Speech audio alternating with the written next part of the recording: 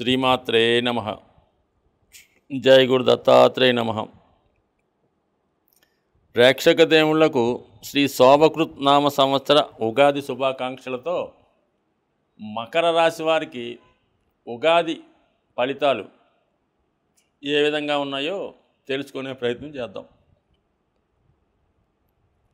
సాధారణంగా తెలుగువారందరికీ ఉగాది నాడు పంచాంగ శ్రవణం వినడం అలాగే వారి రాశి యొక్క ఫలితాలు తెలుసుకోవడం ఒక ఆచారంగా రావడం జరుగుతుంది. ఈ ఆచారం వెనక ఉగాది రోజు ఈ పంచాంగ ఫలితాలు జాతక ఫలితాలు తెలుసుకోవడం వల్ల మీ జాతకంలో ఉన్నటువంటి దోషాలు కూడా పరిహారం అవడం జరుగుతుంటుంది.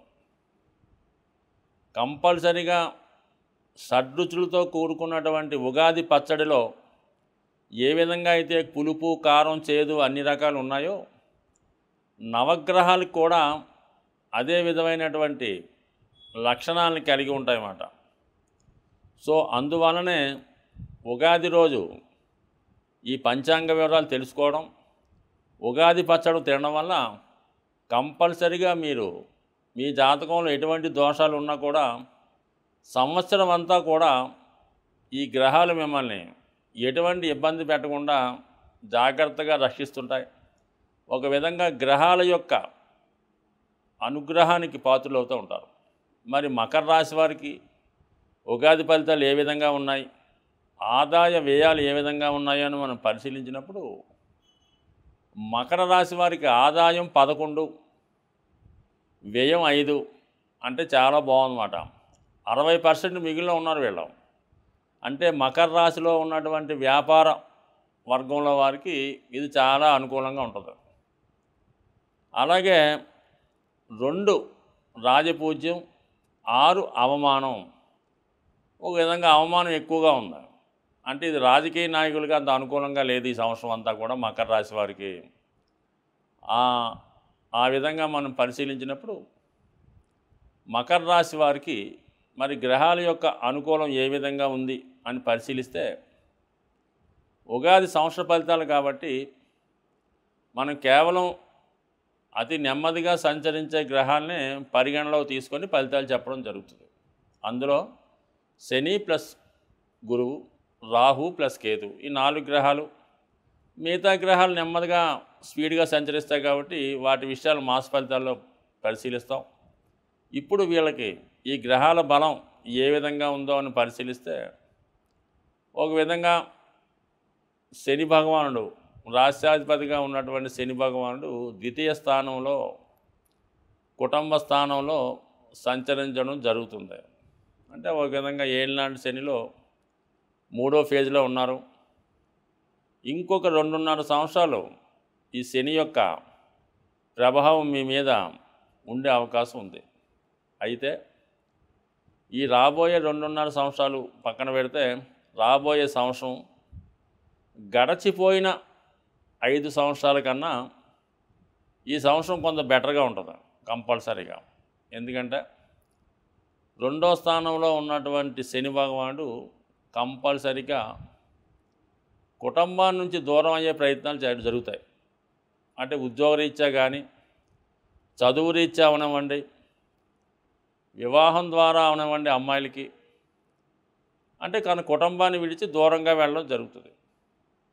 అంటే ఈ చెడ యొక్క లక్షణాన్ని మంచిగా మార్చుకుంటే అంటే దూర ప్రాంతంలో ఉద్యోగ ప్రయత్నం చేసుకుని అక్కడికి వెళ్ళిపోతే బ్రహ్మాండంగా ఉంటుంది. అలాగే వివాహం ద్వారా లేదా ఉన్నత విద్య ద్వారా దూరం వెళ్తే అక్కడ అనుకూలంగా ఉంటుంది. సో ఈ విధంగా కంపల్సరీగా కుటుంబం నుంచి దూరంగా వెళ్ళడం.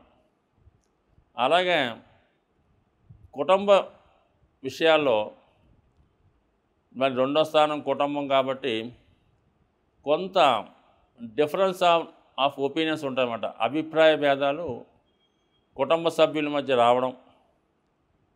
ముఖ్యంగా కుటుంబంలో పెద్దవారికి ఒకవేళ మీరు పెద్దవారైతే మీకు సముచిత గౌరవం ఇవ్వకపోవడం మీ యొక్క నిర్ణయం లేకుండానే లేదా మీ యొక్క అభిప్రాయం తెలుసుకోకుండానే కుటుంబంలో కొన్ని నిర్ణయాలు జరిగిపోతుంటాయి ఆ విధంగా మీకు తెలియకుండానే కుటుంబంలో కొన్ని నిర్ణయాలు జరిగిపోతుంటాయి. ఒక విధంగా కుటుంబ సభ్యులు మిమ్మల్ని అంత గౌరవప్రదంగా స్థానం ఇవ్వరని తెలుస్తూ ఉంటుంది. సో ఇది ఈ విధంగా కొంత ఇబ్బంది పడుతుంటారు. అలాగే మీరు మంచి చెప్పినా కూడా దాన్ని చెడుగా అర్థం చేసుకొని కొంత విమర్శలు తోడయ్యే అవకాశం ఉంది. సో ఏదైనా సాధ్యమైనంత వరకు రెండవ స్థానం వాక్ స్థానం కాబట్టి సాధ్యమైనంత వరకు తక్కువ మాట్లాడడం మంచైనా చెడైనా దాన్ని ఆమోదించి ముందుకెళ్ళడం తప్ప వేరే ఆల్టర్నేటివ్ అయితే ఉండదు. రెండవ స్థానంలో ఉన్నటువంటి శని భగవానుడు అష్టమ స్థానాన్ని వీక్షిస్తాడు. సో ఇది ఒక విధంగా ఆకస్మిక ధనలాభానికి కారణమవుతుంది. అనుకోకుండా కొన్ని సంఘటనలు కుటుంబంలో జరిగే అవకాశం ఉంది. సో ఏదైనా రెండు ఎనిమిది భావాలు కొంతవరకు ధనానికి గుప్తధనానికి అలాగే చాలా కాలంగా దాచుకున్నటువంటి ధనం ఫిక్స్డ్ డిపాజిట్లు ఇన్సూరెన్స్లు కూడా దీని కిందగా వర్తిస్తాయి. అలాగే మనది కాని ధనం ఇతరుల వీలునామా వల్ల ఏదో విధంగా ధనం కొంత అనుకోకుండా వచ్చే అవకాశం ఉండదు. కొంత అది ఆకస్మిక సంఘటనల వల్ల కూడా జరగవచ్చు. మరి రెండో స్థానం నుంచి నాలుగో స్థానాన్ని వీక్షిస్తుంటాడు తృతీయ దృష్టితో మూడో దృష్టితో. సో దానివల్ల ఏంటంటే స్థిరాస్తులు కోల్పోయే అవకాశం ఉంది. అంటే గత ఐదు సంవత్సరాలుగా కొంతమందికి వ్యాపారంలో వచ్చిన నష్టాల వల్ల అయితేనే వేరే విధంగా ధనం పోగొట్టుకోవడం వల్ల ఉన్న కొద్దిపాటి స్థిరాస్తి ఏదో విధంగా దాన్ని అమ్మో కుదువ పెట్టో బ్యాంక్ లోన్లోనూ ధనాన్ని తెచ్చే ప్రయత్నం కూడా జరుగుతుంటుంది. అలాగే వాహనాలు సౌకర్యాలు కొంతవరకు కోల్పోవడం జరుగుతుంటుంది సో ఏదైనా శని కొంతవరకు మీ మీద తన ప్రభావాన్ని చూపడం జరుగుతుంటుంది. మరి గురువు యొక్క స్థితి మనం పరిశీలించినప్పుడు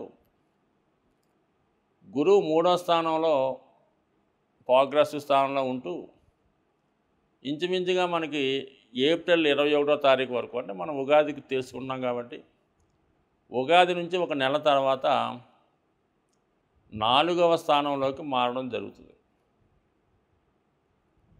అన్ని శుభకార్యాలకి సద్గుణాలకి సాంప్రదాయాలకి కారణమైనటువంటి గురువు నాలుగో స్థానంలో చేరుతున్నాడు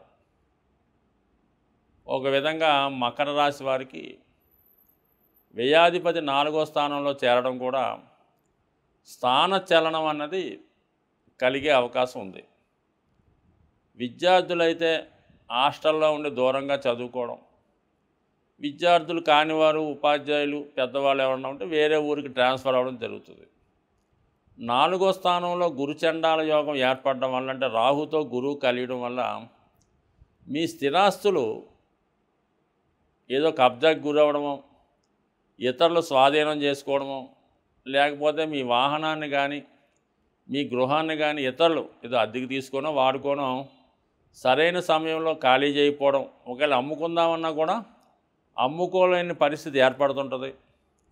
అలాగే అమ్మే ప్రయత్నం చేసినా కూడా సరైనటువంటి ధర రాకపోవడం వల్ల కొంత ఇబ్బంది పడుతుంటారు. ఒక విధంగా మీ ఆస్తిని మీరు అనుభవించలేకపోతుంటారు. ఈ విధంగా ఉంటే మరి చతుర్థ స్థానంలో ఈ రాహు గురుల కలయిక వల్ల విద్యార్థులకి విద్యాభంగం కలిగే అవకాశం ఉంది.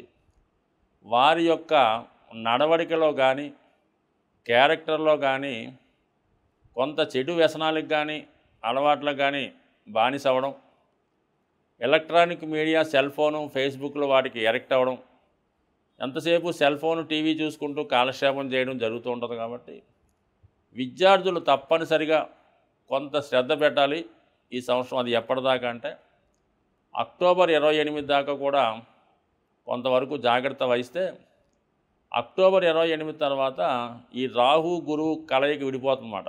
రాహు ఆటోమేటిక్గా మూడో స్థానానికి రావడం గురువు నాలుగో స్థానంలో ఉండడం వల్ల అప్పటిదాకా చేసినటువంటి తప్పులు సరిదిద్దుకోవడం అలాగే మన అమ్ముకోవాలన్నా అనుభవించాలన్నా ఆ ఆస్తి మీకు లభించడం.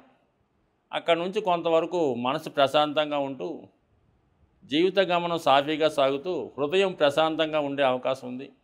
ఎటువంటి చెడ్డ ఆలోచనలకి తాము లేకుండా మీ సంతానం కానీ మీ మనసు కానీ చెప్పిన మాట వినడం జరుగుతుంటుంది సో ఏదైనా ఈ రాశివారు కంపల్సరిగా ఇంకా కొంతకాలం పాటు ఒక సంవత్సరం పాటు ప్రతి మంగళవారం హనుమాన్ ఆలయ దర్శనం హనుమాన్ హా పారాయణం శనివారం కంపల్సరీగా నియమంగా ఉండడం రాబోయే ఉగాది సంవత్సరంలో ఒక్కసారైనా ఏదైనా అమ్మవారి దేవాలయాన్ని సందర్శించి అమ్మవారి అనుగ్రహానికి పాత్రలు అవడం వల్ల ఈ మకర రాశి వారు ధైర్యంగా వాళ్ళకి ఎదురైనటువంటి సమస్యలను ఎదుర్కొని ప్రతి సమస్యని వీళ్ళకి అనుకూలంగా మార్చుకుంటారని ఆశిస్తూ స్వస్తి.